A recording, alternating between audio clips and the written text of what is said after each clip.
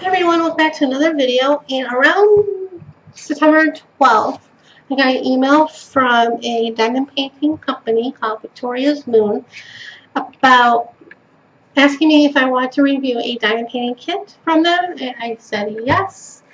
And I got to pick out which one I wanted. There was a couple that I wanted. And they sent to me for free for reviewing purposes. So I got this sent to me for free for reviewing purposes and I they mailed it out to me at FedEx on the 24th. I got it this morning. I wrote the representative telling her that I got it. She wrote me back with instructions on this on this unboxing video and future videos because there will be future videos of me working on this and showing the final product know, when it's finished.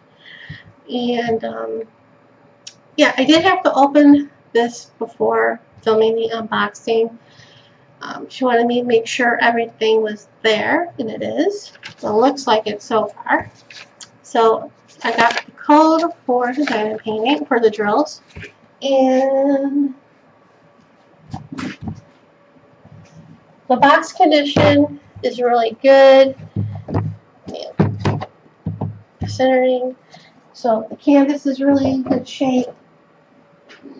And we'll start with the toolkit. It's your standard toolkit that you get your diamond painting. You got your wax and your tray. You got your good tweezers. And you got your good pen. Well, it's not. It's the usual diamond painting pen with the with the grip.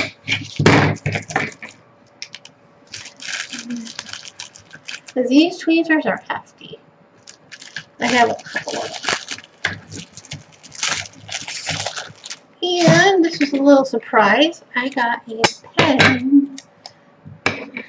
Pink jewels. How do they know I like pink? And it's still tip. And they sell these in their shop. And the drills. They're all there. I checked before um, hitting the record button. There's a lot of them. Because it's a big canvas.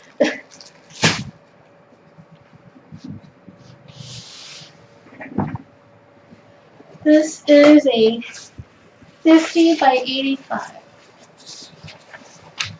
And they do have the code on this side and the butter. That's what the canvas is. What that's just what the diamond painting is going to be, and it's in really good shape. You know, there's no wrinkles or anything, and this wasn't. Um, this came pretty flat when I unfolded it. So you really, I didn't need to do this, this part.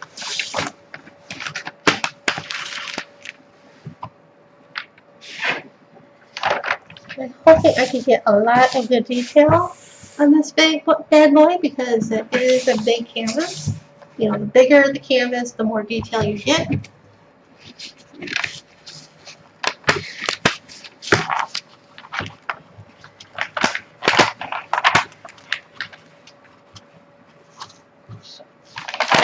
I will be doing practice videos on this. Like I said, it's one of the requirements, and I just have to figure out the logic, logics on how to do it. Well, I know how. You get a webcam and you film.